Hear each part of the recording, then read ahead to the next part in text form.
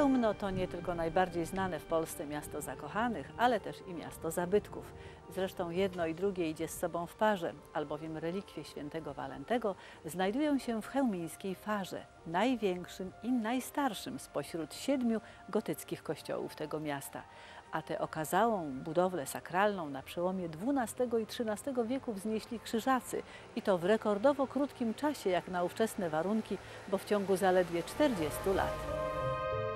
Fara w Chełmnie jest wyjątkowej klasy zabytkiem, między innymi dlatego, że kościół od chwili jego wybudowania pozostał w swoim kształcie niezmieniony. Na dobrą sprawę, jak go wybudowano w, na początku tego XIV wieku, tak do dnia dzisiejszego ta bryła jest niemalże nieruszona. Malowidła ścienne z XIV wieku, gotyckie rzeźby, bogato zdobione późno-renesansowe stalle i 13 barokowych ołtarzy to wszystko tworzy wyjątkowy obraz i klimat tego kościoła.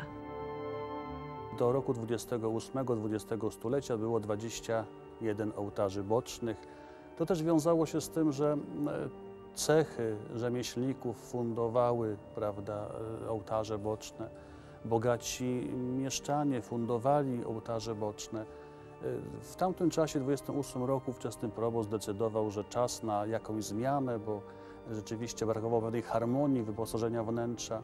Było trochę zagracone to wnętrze, więc e, co zrobił? Zrobił to, co widzimy teraz. A ten cały nadmiar ołtarzy i elementów wyposażenia e, sprawił, że, że te ołtarze z kościoła zniknęły. Dokąd? A bardzo różnie. Najczęściej do budujących się nowych kościołów, chociażby do Gdyni, prawda, gdzie w tym czasie miasto powstawało i tam też jakieś elementy z naszej chełmińskiej fary e, trafiały i też do wielu innych miejscowości. Szczególnym wiekiem dla tego kościoła był wiek XVIII. Wtedy to bowiem powstała większość znajdujących się tutaj barokowych ołtarzy, a wśród nich ołtarz świętego Rocha i świętego Sebastiana, patronów miasta. Mówimy y, Chełmno, Sanktuarium Matki Bożej Chełmińskiej, Matki Bożej Bolesnej, to wszystko jest prawdą. Ale patronami miasta są święci Roch i Sebastian. W zeszłym roku zakończyliśmy dwuletni cykl, okres e, bardzo dokładnej, bardzo bogatej właściwie, bardzo szerokiej e, takiej renowacji tego, tego ołtarza. Ołtarz rzeczywiście jest bardzo, bardzo bogaty. Dostrzegamy wiele złoceń, właściwie cała powierzchnia jest pozłocona, ale też e, naszą uwagę tutaj bardzo wyraźnie e, przybija jego, jego srebrna, srebrna e, sukienka. Trwającą aż dwa lata konserwację i renowację tego ołtarza umożliwiły w dużej mierze środki unijne. Szczerze mówiąc, no bez, bez, bez tego zastrzyku, bez tej możliwości pozyskiwania tych funduszy, no niewiele byśmy mogli zrobić, prawda? Na dobrą sprawę, no dzięki tym funduszom, tym strukturom finansowym udało się zrobić to, co widzimy także w temacie ołtarza świętego Rocha i Sebastiana.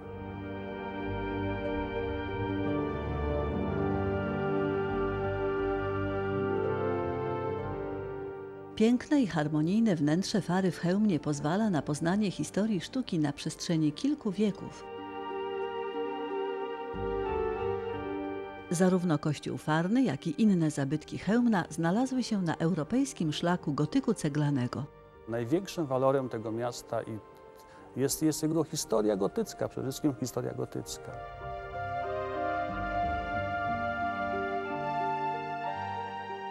Kiedy przyjeżdża się do Chełmna, nie sposób nie zauważyć monumentalnego zespołu klasztornego Sióstr Miłosierdzia. Robi wrażenie nie tylko swoim ogromem, ale również znakomitym stanem zachowania. A częścią tego zespołu jest klasztorny kościół pod wezwaniem świętych Janów. Kościół gotycki, ale z bardzo pięknym i bogatym barokowym wyposażeniem. Świątynia budowana na przełomie XIII i XIV wieku, tak jak większość chełmińskich budowli, yy, pokazuje tą, ten monumentalizm miasta i to, że miasto w średniowieczu było tak potężne. Do XV wieku klasztor w Chełmnie był siedzibą cysterek, później benedyktynek, a od XIX wieku stał się własnością sióstr miłosierdzia świętego Wincentego a Paulo. Kościół Świętych Janów jest jednym z mniejszych kościołów Chełmna, ale najpiękniej utrzymanym. Przepiękne dekoracje, rzeźby, obrazy, instrument budzą olbrzymie zainteresowanie. Cechą charakterystyczną świątyni jest również empora, czyli piętro przeznaczone tylko i wyłącznie dla sióstr i to jest jedyny tego typu kościół w Chełmie. Znaczna część wyposażenia kościoła klasztornego pochodzi z warsztatów snycerskich Chełmna, które niegdyś były dumą tego położonego na dziewięciu wzgórzach miasta. Dziełem chełmińskich mistrzów jest między innymi ołtarz główny świętych Janów. Gdzie jest Matka Boża niebowzięta, dalej jest y, Boże Narodzenie i mat koronowanie Matki Bożej. Trzy obrazy takie podstawowe w ołtarzu. No i rzeźby przepiękne mm, po boczku, po boku apostołowie, wyżej święty Józef i święty Jakub. Widać tutaj tę pracę całych no, pokoleń, pokoleń i snycerzy, którzy mieli swoje zakłady w Chełmnie. No i widać też właśnie ten trud, wysiłek, który pozostawiony został właśnie w tych przepięknych ołtarzach, w każdym elemencie, w każdym szczególe. Ten trud wielu pokoleń widać też chociażby w odnawianych dekoracyjnych organach umieszczonych w kościele nietypowo, bo w prezbiterium. pochodzą z lat 1613-1617. Y, Budowniczym był mistrz Chrystian z Nowego Miasta. Y, No rzeczywiście organy zabytkowe i nawet teraz zostały poddane renowacji. Gra na tym wspaniałym, pięknym instrumencie również uduchawia człowieka, także jego dusza wznosi się, wzlatuje ku niebu i chwali Pana Boga. Dopiero teraz, kiedy się właściwie tak bardziej zajęliśmy tą konserwacją, to widać te wszystkie mm, piękności tych organów. No, na piszczałkach nie było już widać tych wszystkich złoceń, bo one były tymczasem jakby tak e, szarałe, nie było tego widać. A w tej chwili możemy na to wszystko patrzeć, podziwiać, jak to pięknie robili mm, ci, którzy wykonywali te organy, bo tak samo zrobili dokładnie tą część, którą widać i tą część, której nie widać dla ludzi, bo ona jest jakby tak schowana y, od prezbiterium nie widać tej części, a tak jest pięknie odrobiona, że, że podziwiamy, że ktoś to robił nie dla jakiegoś tam samej chwały czy dla oka ludzkiego, ale robi to właściwie dla Pana Boga. Zarówno konserwacja zabytkowych organów, jak i wiele innych prac wykonywanych jest w dużej mierze z funduszy unijnych, z których zespół klasztorny korzysta od 2005 roku. Pierwszym etapie zrobiliśmy tutaj posadzkę w kościele, odkryliśmy też kryptę. Organy są przede wszystkim pierwszym były naszym takim zainteresowaniem, bo były bardzo zniszczone. I choć wiek kościołów Chełmna jest wręcz imponujący, jeszcze starsza od nich jest katedra pod wezwaniem Świętej Trójcy w Chełmży. Tę funkcję pełniła już w wieku XIII. Pochodzi z 1251 roku. Y, Rozpoczęto jej budowę za wstawiennictwem biskupa Heidenryka, y, która trwała ponad 100 lat do roku 1390.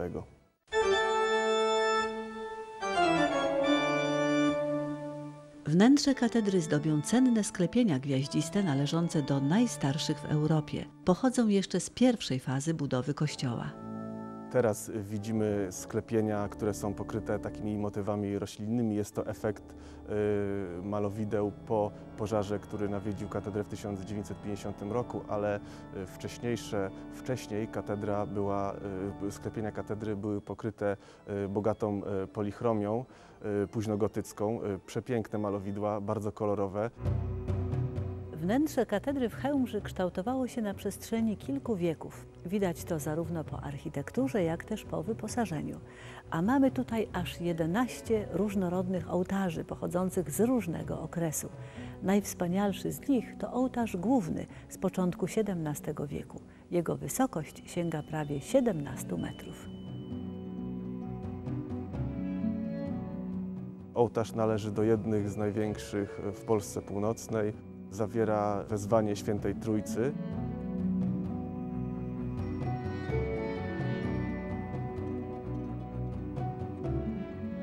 Najcenniejszym takim obrazem, który znajduje się w katedrze jest obraz Pokłon Trzech Króli y, artysty Luca Giordano, którego obrazy znajdują się w najlepszych galeriach na całym świecie.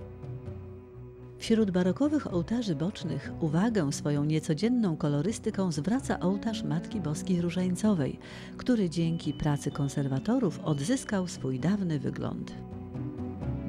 Oryginalna kolorystyka właśnie jest taka e, ciemnobrązowa, e, połączona ze złotymi i srebrnymi e, ornamentami. Dlatego to wszystko bardzo dostojnie wygląda. Zresztą jest to ołtarz barokowy i on wyróżnia się takim charakterystycznym dla baroku bogactwem form, e, muszlowatymi ornamentami, ornamentami w postaci zwojów, co widać na zwieńczeniu, w postaci wolut, plafony też są widoczne i jest on właśnie bardzo bogaty.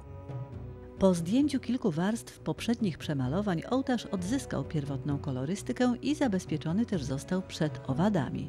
bo to drewno naprawdę e, ulegało odszczepieniom, były ubytki różnych form e, w ornamentach, ale także elementów anatomicznych, rzeźb. Kościół dopiero od niedawna korzysta na szeroką skalę z funduszy unijnych, które przeznaczono nie tylko na konserwację ołtarza, ale też na położenie nowego dachu w kościele świętego Mikołaja, stanowiącym filialną świątynię katedry w Chełmży.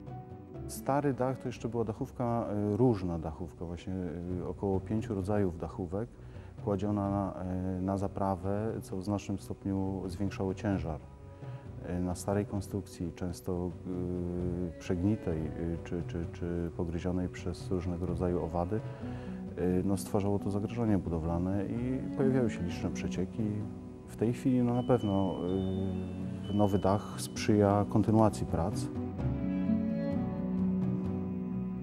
Kościół pod wezwaniem świętego Mikołaja w Chełmży jest najstarszym kościołem chełmżyńskim. Istniał w X wieku, a więc jakieś w tym miejscu, czyli jakieś 200 lat przed początkiem budowy konkatedry chełmżyńskiej.